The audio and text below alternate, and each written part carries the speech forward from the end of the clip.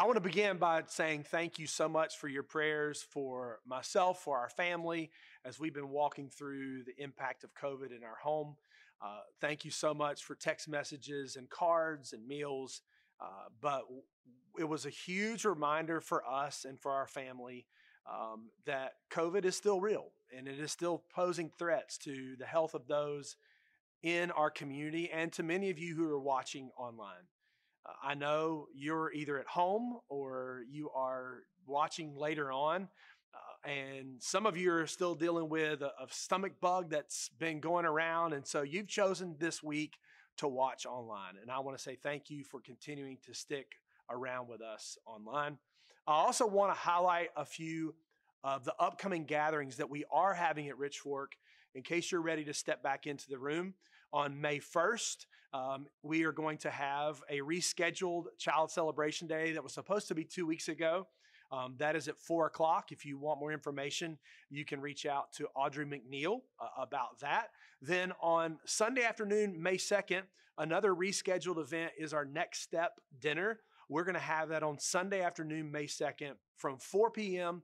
to 5:15. And again, that's an opportunity for you to get to know us ask some questions, meet some folks.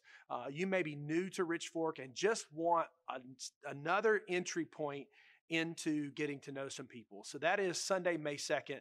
You can still register for that. We left that open uh, on the events page at richfork.com. Then we're also working on finishing up details for an outside service on Sunday before Memorial Day, May 30th. Uh, we're working on making that an outdoor service, possibly tying in a picnic. We're trying to put all that information together, uh, and we'll try to give you that as quickly as we can. But on this day, we also want to give you some practical ways to be for our community. And again, uh, Lee Hedrick, our missions pastor, is finalizing some details for us in ways that we can do that. Also, uh, coming up not too long after that. I know we're getting into June and it sounds like that's a long way away, but it's really not. Uh, we're going to start on June 6th a summer uh, sermon series entitled The Story of Redemption. And we're going to cover through the summer Genesis to Revelation. And if you don't know the Bible, you may not know that that's the beginning to the end. So we are going to cover a lot of ground over a three month time period. And I'm looking forward to that. And been doing a little bit of preparation for that over the past few weeks. Then, something that's important, uh, I noticed as I drove up uh, today, there's uh, some information outside. WinShape camps are coming back to Rich Fork June 7th through 11th. We still have openings. We have over 100 people registered for that. So if you want more, information, it's on our website as well. And so a lot going on. All of those events are listed and more are listed on our events page. And we just want you to know when you're ready to step back into the room or ready to step back into some other opportunities that they are on the calendar. We are continuing to put some of those things out there for you to connect with other people. Now, before we get into our message today, I want to pray for us as we continue. God, I thank you again for prayers and encouragement and support of just a lot of people and uh, over the past few weeks for me, for my family, and uh, it has not gone without notice um, at all in our home. God, I also pray for those who are struggling with COVID and with stomach bugs and with other illnesses. Um, God, even this week, I know several of our church families are dealing with um, deaths in their families and their extended families um, difficult medical uh, diagnoses that they've been facing. And uh, God, I just ask that you would just continue to strengthen them and guide them and uh, just allow us to minister to them as best we can. God, thank you for this opportunity to examine your word today. I pray that it is encouraging and uplifting and also challenging to each of us. In Jesus' name, amen. It's hard to imagine saying this, but it's good to be back in front of the camera again. It's been several weeks for me, and really, it's been on and off since late March for me. The past five weeks uh, have just been crazy for me and for my family, but nothing compared to what many of you guys have walked through over the past year. But let me just share a few of those things. In, in mid March, I encountered a, a, new medical friend, uh, if we want to call it that, called vertigo. It impacted me for several weeks. And then COVID entered our home several weeks ago. We've been recovering from various symptoms. And of course, quarantine, or as one person texted me, are you out of queue yet? Uh, in a text messages as people have been checking on us. Now, again, my struggles the past two weeks were minor in comparison to many of you. I know people who have recently lost jobs, are experiencing major medical decisions, and over the past four months, several of you have had a loved one pass away from various illnesses. So my issues really are, they're, they're minor in comparison uh, to yours. But these health issues did give me a lot of time to, to walk, to pray, to evaluate the past few weeks and even the past few months. On one of those walks this past week, I realized something major had changed around me. Spring had sprung. Now, I know that's not new information for any of us based on the amount of yellow and green on all of our cars or anything outside, but here's why this is amazing to me. For the past three or four months, I've been walking some of the same trails, pathways, the same roads around my home, and even here at church. But last Friday, I was walking down this one path near my house, and I was realized that I was no longer being impacted by the sun coming brightly through the canopy of trees around me. In honesty, in the middle of the day, it was kind of dark. Something changed. The trees all had leaves, not little leaves, not buds, but full leaves. And I thought, were those here yesterday? Did they just pop out as, as full grown leaves? The, the branches are full of varied colors of green. And then I noticed the vines on the ground, some of them that I don't want to touch were green as well. The undergrowth was popping with color. Spring had sprung all around me. So, what's the point? Point's this. For four or five weeks, I was beginning to shift all of my questions and my health, my struggles, my fatigue, and my trials. I just started to put them all inward. I was even looking down as I was walking, just putting one foot in front of the other. And then last Friday, I looked up and I realized, very humbling, I realized that the beauty of God's creation reminded God is still moving, God is still in control. Again, my struggles pale in comparison to some of the decisions and difficulties some of you are facing. But with compassion and a heavy heart for your pain and your trials, I want to replant a truth in your heart today. Allow me to pick up your head a little bit and, and see God is still moving, God is still in control. In the book of Psalms, full of every emotion we can experience, the psalmist writes these words in Psalm 38 9 and 10. O Lord, all my longing is before you. My sighing is not hidden from you. My heart throbs, my strength fails me. And the light of my eyes, it also has gone from me. If you go back and read those words, they're not hiding the writer's pain. And on that day, I was reading that passage. I journaled a few words about these verses, and I wrote, Though I fail, even when I weep and am tired, you are there. When I stopped in my tracks in my strength, may I continue to crawl to the throne of God by His grace. I wrote those words because if you read and continue to read Psalm 38, it's still raw with emotion. But we hear these words But for you, O Lord, do I wait. It is you, O Lord my God, who will answer. And then in verse 21 and 22, it says, Do not forsake me, Lord. Oh my God, be not far from me. Make haste to help me. O Lord, my salvation. The psalmist is seeking the Lord.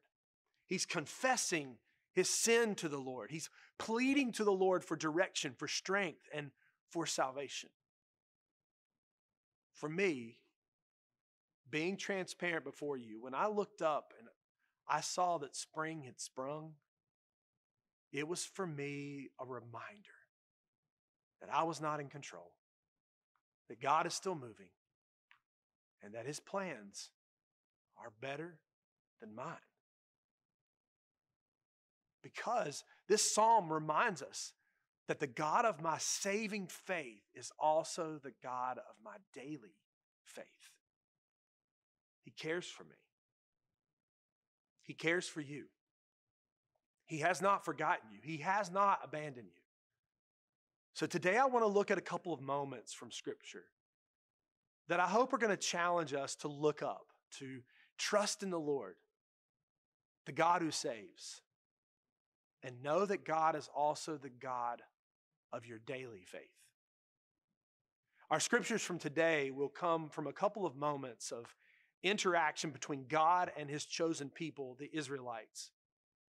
If you were to take time to read their story, beginning in Genesis and spanning into various Old Testament books, you would find God's promises to them, given to them and their heritage, but you would also see a pattern that they repeated over and over. And the pattern was this. They would receive a promise from God, they would question, they would sin, they would act in disobedience, and their leaders sometimes would act in disobedience as well. Then they would face consequences from their sin. Then God would forgive them. Repeat. Many times the consequences of their sin put them in what I, I like to call a spiritual waiting room. And oftentimes in the waiting room, God's children, they do what? They disobey again. They search for answers, and then God answers them in magnificent, unexpected ways. But I'd like you to think about that waiting room with me for a moment. Pre March of 2020, a waiting room was a place in an area of a doctor's office or a medical facility where family and friends would sit, sometimes for long hours, and they would wait upon the, the arrival of a child or the results of a test or a long surgery. Waiting room. Let me refresh your memory what they're like stiff chairs, bad coffee, old magazines filled with awkwardness because you're not sure who you should or should not talk to because they may be facing something very difficult, a family member that's very sick or not sick, or do you talk to them about whatever's going on in your life? The person beside you is coughing from the abyss. You have to fill out the same form multiple times. You're asked the same questions multiple times. A waiting room, a doctor's office. You're waiting for medicine. You're waiting for a diagnosis. It's never easy, spiritually speaking. There are seasons where we feel, where I feel, as if I'm in a waiting room, sitting there. Life's going on around me. People are making decisions. Life change happens. But there we sit. In the spiritual waiting room is when we begin to ask questions such as where is God in the middle of my season of spiritual wandering? That question has many formats, of which it is asked. Why? Here's another one. Why is this not happening the way I expected? At times I feel as if I'm standing still. I may ask it another way. How can I move forward? Or where is God in the middle of this moment. Fill in the blank with a significant difficulty. Thankfully, God's word is full of people who have asked their own versions of these questions. The group that asked this question the most God's children, the Israelites. Again, a, quick history lesson, and then we'll dive into several verses in multiple Old Testament books. The Old Testament, in large part, tells the history, the miracles, and the awe inspiring moments of the people who had been deemed by God to be his chosen people, the people of Israel. At one point in their history, after being enslaved for 400 years, and I'm complaining after a two week quarantine, 400 years, they're finally freed from slavery. There's so many incredible moments in their history that we cannot even begin to cover them all. But, but several of these moments come in times where they are facing despair and obvious turmoil. At one point, this massive group of people, some estimate a million plus, had found themselves staring at the Red Sea, a body of water. They had mountains on their left and their right, and pressing on from behind them were the Egyptians, those who had enslaved them, coming to recapture them. They were out to destroy Israel because of the hardened heart of Pharaoh and all the suffering from the plagues which had come upon them. In Exodus 14, in the Old Testament, we have their story. It's recorded for us. And in the most incredible of circumstances, at what appeared to be a hopeless situation, God delivers them. The Red Sea opened, the people crossed, and the Egyptians were destroyed in the wake behind them. God had provided for them, protected them. Even as they stood in the middle of their biggest struggle, facing what seemed to be an inevitable defeat. God moved in the middle of their spiritual wandering in spite of their doubts. God was a saving God and an everyday God for these people. But in Exodus 15, just three days after they crossed the Red Sea, the people became thirsty. They couldn't find clean drinking water. So they started to panic. They began to grumble to Moses, their leader, about not having water to drink, as if water's a problem to God. And he provides another miraculous provision of water and then an oasis as well. God moves in the middle of their spiritual wandering. God moves in the middle of their spiritual doubts. Scripture records this instant that God was teaching them, He was testing them, preparing them. The good news for us they failed often their tests of trusting God, yet He still continued to provide. But then and there, the Lord made for them a statute, a, a rule. But it also included a promise and a reminder. He is the God of their salvation, and He is the God of their everyday. Here's the promise, the, the statute, the rule that God made in Exodus 15 verse 25 through 27. There the Lord made for them a statute and a rule, and there he tested them, saying, If you will diligently listen to the voice of the Lord your God, and do what is right in his eyes, and give ears ear to his commandments and keep all his statutes, I will put none of the diseases on you that I put on the Egyptians, for I am the Lord your God, your healer. Then they came to Elim, where there were 12 springs of water and 70 palm trees, and they encamped there by the water. But their response? They would continue to struggle with doubt. They would continue to struggle with discouragement and have spiritual waiting room moments. Another one of my favorite stories that's a part of their histories is, is found in the book of Numbers, chapter 13, when the children of God, the Israelites, they are now on the edge after many events in between these two, they're now on the edge of the land that God had promised them. But the people are people and they want somebody to go spy it out, to, to check it out, to make sure it's as promised. And so after 40 days, the spies come back. 10 of them came back and they told everyone how wonderful the land was. But they said, the enemy is enormous. We can't defeat these people. Two of the spies, Caleb and Joshua, They have a different report 10 to 2. They said in Numbers chapter 13, verse 30, but Caleb quieted the people before Moses and said, Let us go up at once and occupy it, for we are well able to overcome it. 10 to 2. 10 say, We're not going. In fact, the 10 got the masses so fired up that they started declaring that the enemy is stronger than they are. They are bigger.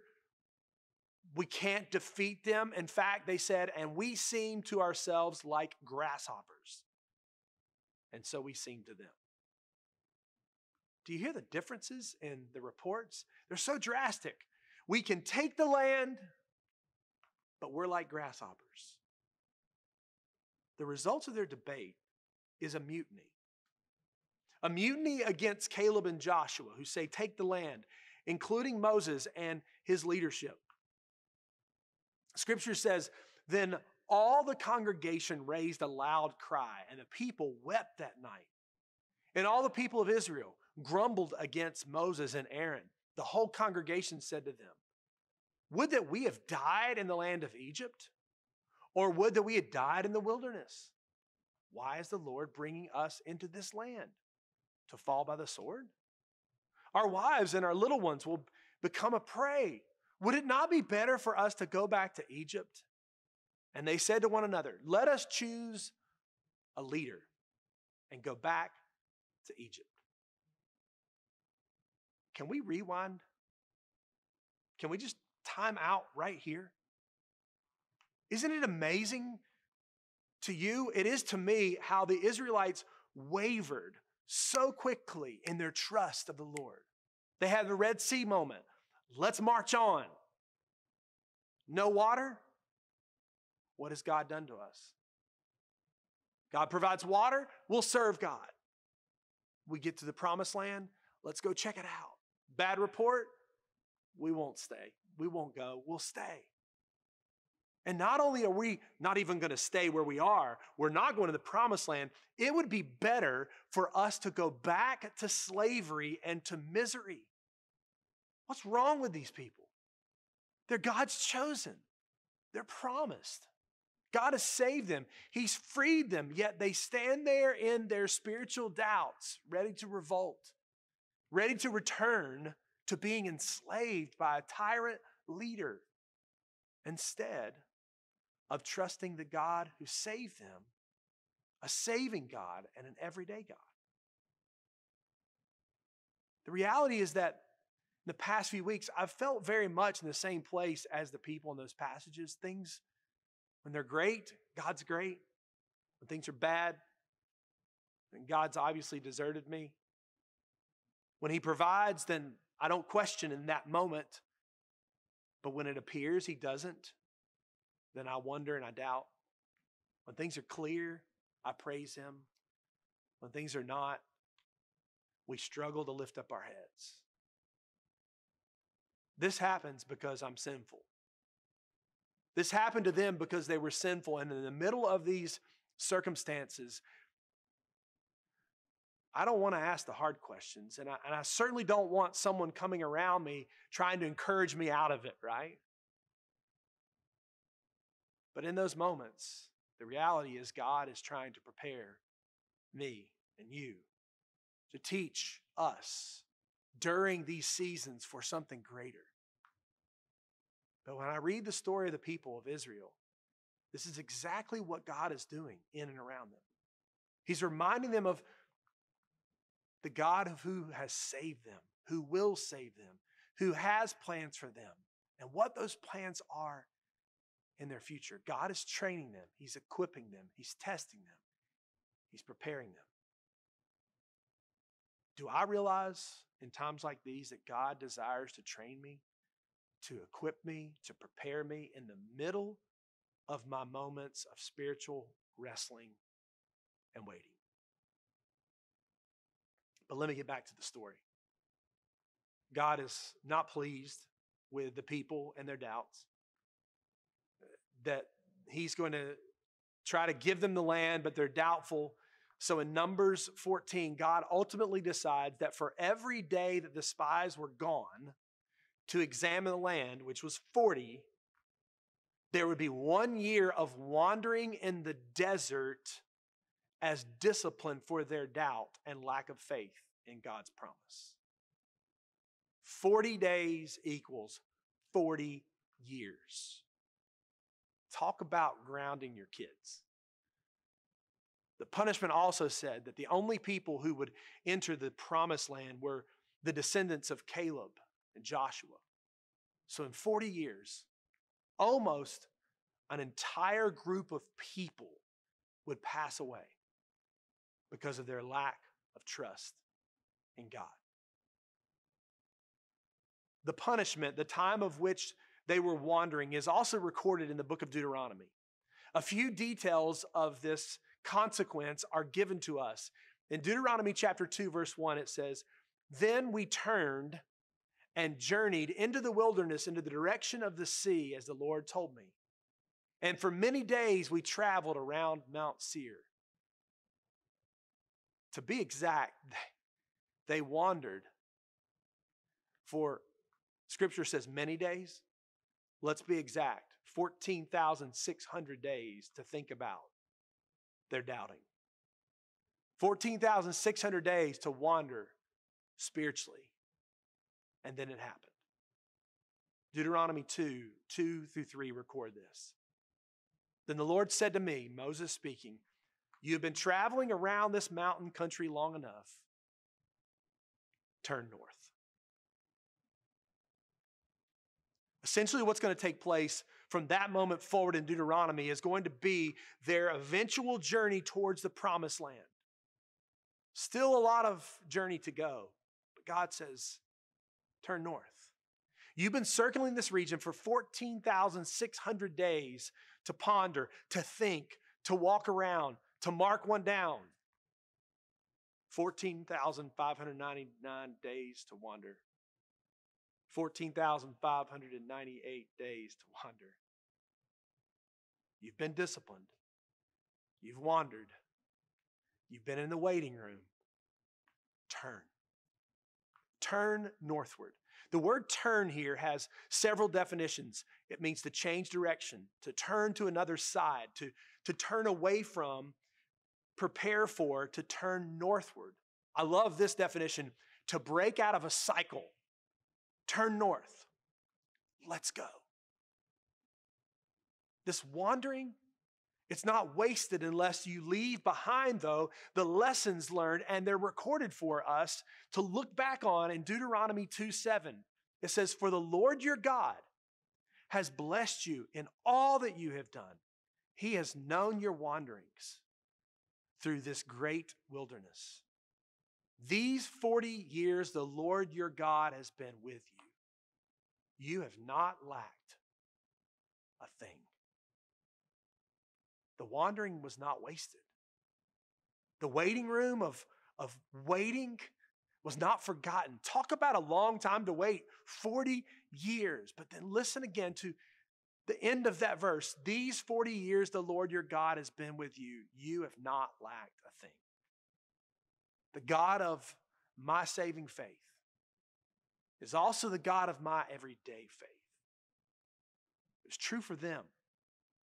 It's true for us. Some of you have been floundering, waiting spiritually for months, maybe even since before March of 2020. It's been a season where we've all done some wandering, some searching, some waiting.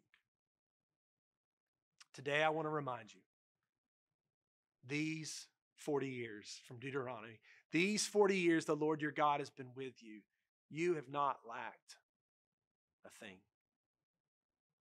If I can, let me edit that for those of you who've trusted in the Lord through Jesus Christ.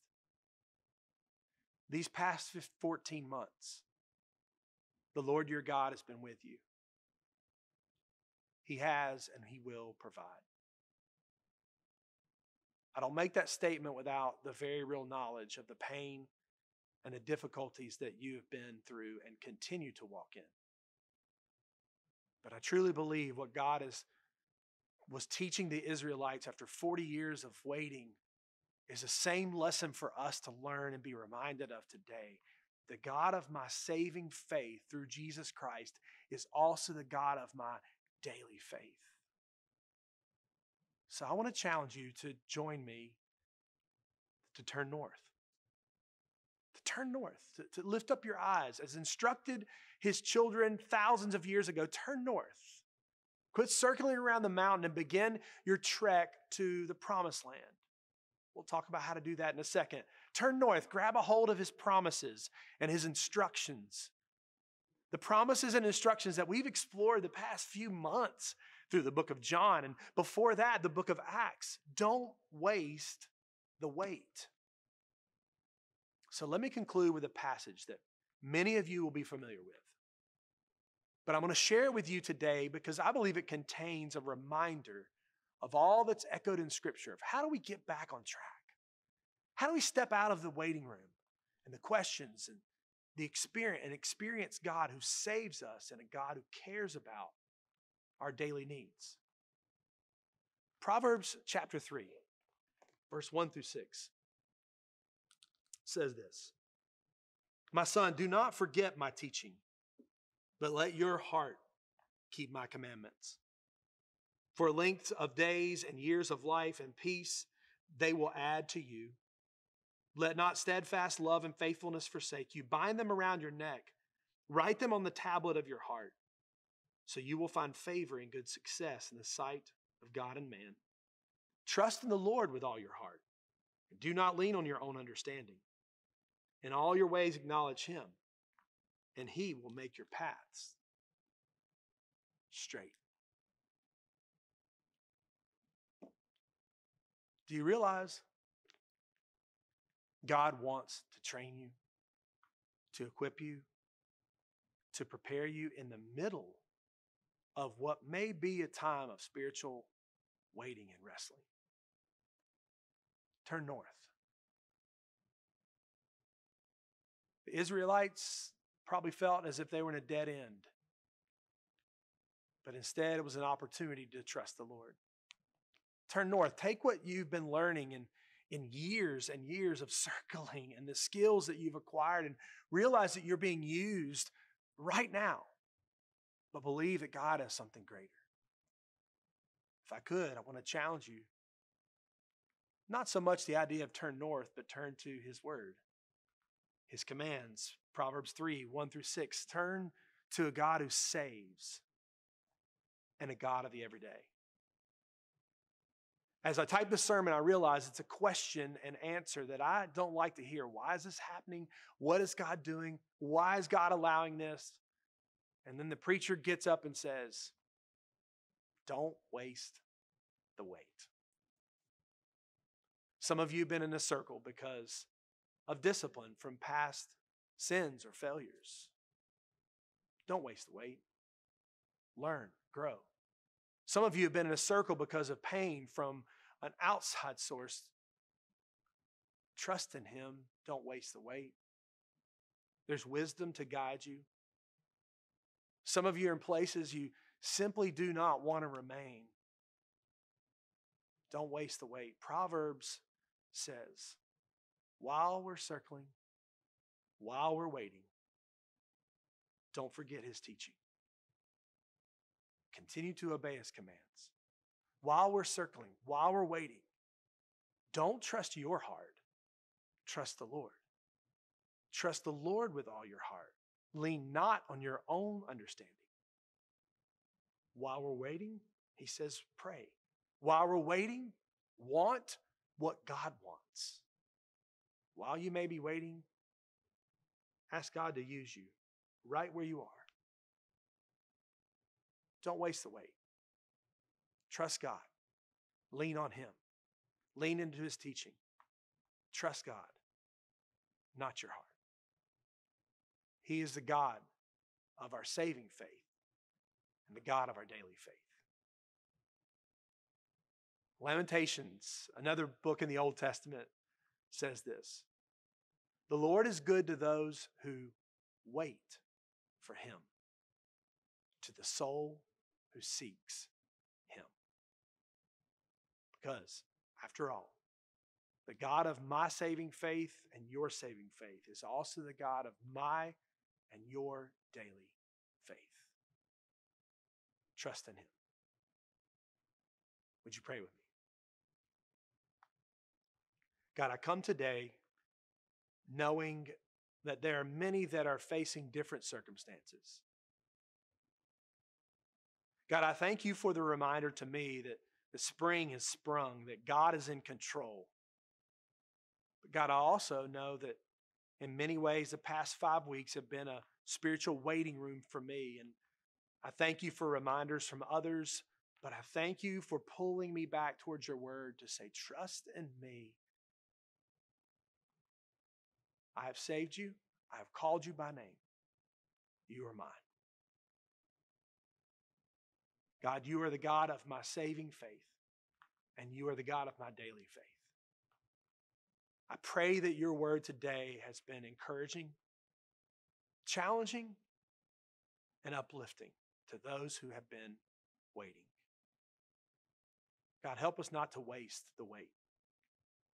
Help us to look at Proverbs 3 1 through 6 and use that to embark in a season of growth towards you. In Jesus' name, amen. I pray our time together has been encouraging to you. I pray that we trust the promises of God in our daily walk with Him. Thank you for joining us.